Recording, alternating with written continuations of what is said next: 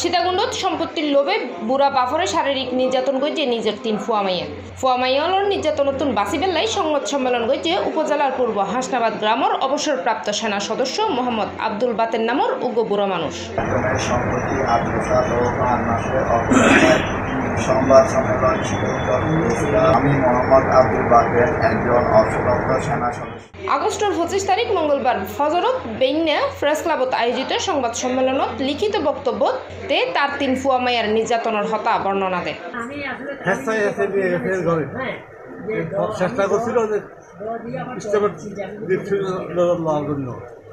আমি একটু আমি দেখে ছিলাম দিলে এই মুহূর্তে বাহার থেকে লোকজন আইসে গেট বন্ধ করে দিয়েছে বাড়ি এরা গেট তখন দরজা খুলে দিয়ে